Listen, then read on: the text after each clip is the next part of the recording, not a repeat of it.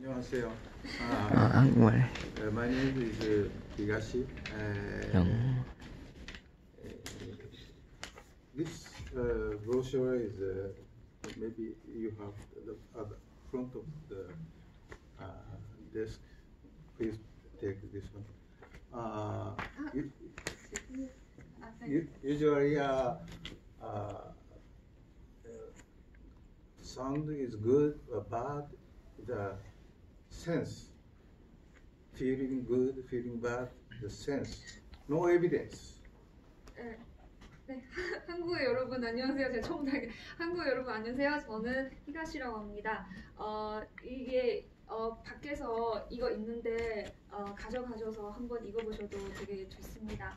어, 보통은 소리가 좋은지 안 좋은지 그게 사람의 감각에 따라서 달라요. and uh, we proved uh, scientifically uh, by numerical value.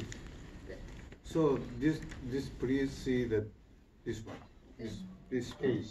저희는 이 음질이 좋은지 안 좋은지 수치적, 과학적으로 그 방법으로 이렇게 증명했습니다. 이러, 이거 보면 보시면은 알 것 같습니다. from the same uh, mas- master the, uh, that the master make CD. The one uh, uh, from master we make one CD and one UHQ CD, and we compare, and uh, we uh, use uh, wavelet analysis.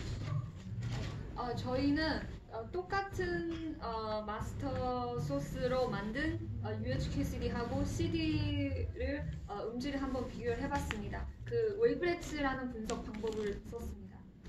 So technically, we proved the complete uh, UHQ CD is more closer uh, the master source.